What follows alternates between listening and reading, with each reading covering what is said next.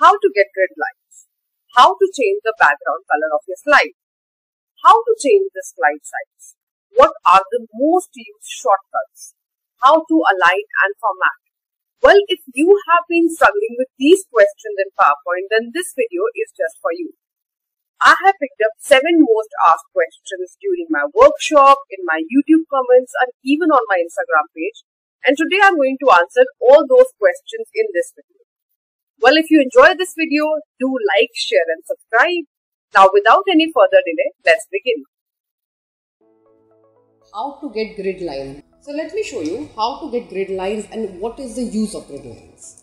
So these lines that you see right now are basically called grid lines and in order to get these, all you have to do is go on your view tab right here and tick mark this thing. So for example, if I'm unticking this, you will see that it has gotten blank now. This is how it looks like, right? The moment you tick mark the grid line box, you will see these grid lines. Now, what is the usage of it? Well, honestly, earlier there were more usages since, you know, PowerPoint has been updating, it is adding a lot of features. So earlier, in order to align things, we actually used grid lines. So to match that, okay, this circle has to come till this line also if you are trying to zoom in certain thing for example if you have to put an image over here how do you know which how much is the slide area? For example if i'm adding this image and i have to make sure that i want certain part. So you, with the grid line you will be able to see that this is my image area the one that basically has grid lines. So when you zoom in you will see that only that particular part gets highlighted. So these are some of the usages. Otherwise you can use grid line in multiple manner but most of the time the question that I get asked is how to get grid line. So it's very simple, go to your view tab and tick mark the grid line box. If you untick it, you will get rid of those. Moving on to the second most asked question in PowerPoint. How to change color of the background. Now let me quickly show you how we can do that. It's a very very easy and simple trick. All you have to do is, right now I have a blank white slide. Right click format background. Just click on this tab that you see format background and you will see a new tab opening on the right side which has solid fill gradient fill picture pattern fill right? So as the first name suggests solid fill which means you can fill in any solid color. So click on the color tab over here and choose the color that you want in the background. So it could be blue. If you want to go for purple you can choose that. If you want to go for orange so you can pick and choose any color from this tab. Now you can also create a gradient in the background. So all you have to do is click on gradient fill. So right now it has picked up a preset gradient. All you have to do is decide. So right now these four tabs that you see are four colors. You can actually choose your own color for gradient. If you want to see how to create gradient in detail, check out my video on gradient. I am putting the link in the description box. But just to quickly show you, I'm choosing three different colors to create my own gradient. I've taken a yellow, I've taken an orange and I'm going to take a deeper orange. So I've created my own gradient in less than one minute. You can also decide how much area do you want to give to yellow, orange or the darker orange by just moving the tabs. Now, the third option, picture is as the name suggests you can actually insert a picture in the background. Pattern fill is basically these prefix pattern that are there you could actually use a pattern like this and you can change the colors. For example if you want more of gray you can choose that. If you want a dotted one if you want lines if you want these sort of patterns. So all these are for you to choose basis your own choices and the kind of presentation you are making. So that's how you actually can fill colors and patterns in the background. Moving on to the third question how to basically put picture in a shape or how to crop a picture to a shape. So I'm going to show you a very very easy and simple method of how to do that. Now let's get a picture over here that we want to put into a shape. I'm getting this image and I'm going to make three four copies of it alright. So this is shape 2, this is so this is my second image and this is my third image. Let's reduce the size a little, perfect. Now, in order to put this into a shape, all I have to do is double click on this, go to crop over here, instead of clicking on crop, I'm going to click on this arrow that you see at the bottom. The moment you click on it, you will see the option of crop to shape. And the moment you come on crop to shape, you will see all the shapes that PowerPoint offers. So choose whichever shape you want to crop it to. For example, if I want to crop it to this shape. And in less than 30 seconds, my image has been inserted into a shape or my, my actual image has been cropped to a shape. Now let's try another one crop to shape. Let's go for a simple circle. But as you see, this looks more like an oval shape than circle, right? In order to make sure it looks like a proper circle, go to aspect ratio and choose 1 is to 1. So aspect ratio of shapes like circle and squares which have equal number of sides or radius, the aspect ratio always should be 1 is to 1. Now let's try one more. Crop to shape. And let's go for something like this. If you want to try one more example you can do that. I'm going to copy the same shape. You can actually change it from here also. So even if you have put another shape you can go over here and choose this now this again does not look right in terms of the aspect ratio so i'm going to click on the arrow once again aspect ratio and 1 is to 1 and now i have got perfect four different images in four different shapes how easy and simple is that? And imagine the kind of slides you can actually create using this. So if for example, if I have to create a slide, I can actually just do this.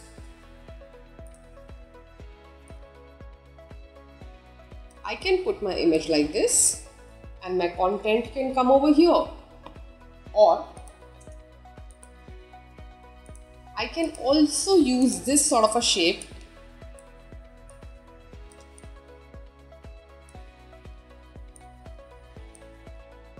to put my image and I can place my text over here.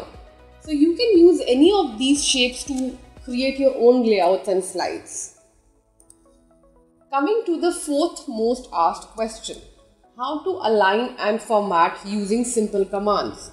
So a lot of people ask me what is that one thing that we should learn in PowerPoint to make sure that we create clean and neat presentation.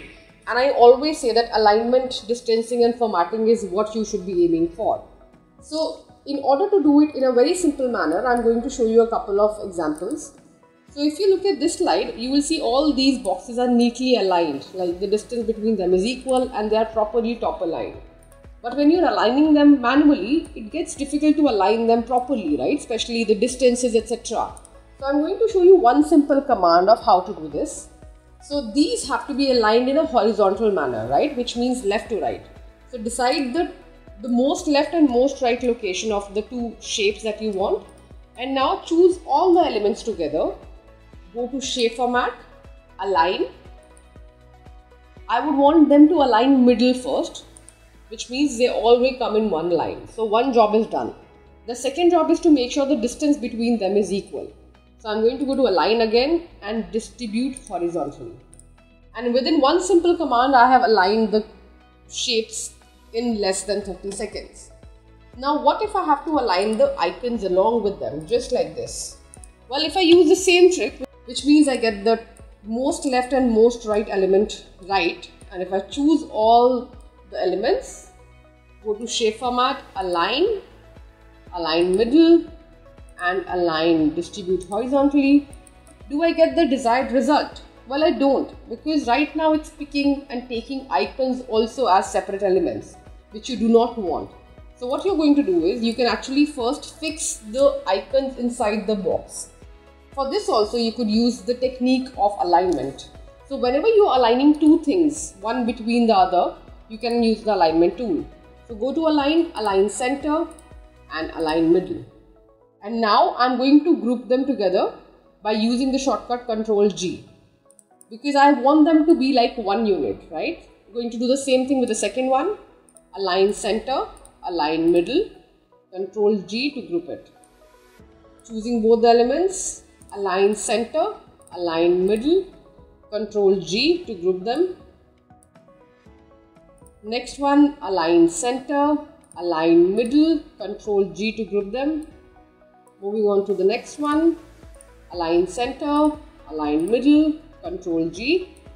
Second last, align center, align middle and control G. Moving on to the last one, align center, align middle and control G. Now all these are grouped elements which means it will consider the box as the shape and not the icons. Now I've selected all. I'm going to go to align, align middle, align distribute horizontally. And simply like that you can align your slides very very easily and simply. Moving on to the fifth most asked question. How to change the slide size from 4 is to 3 to 16 is to 9 or vice versa or how to make your document or your slide size portrait from landscape. Let me show you how to do that. So all you need to do is go to the design tab which is next to draw and transition.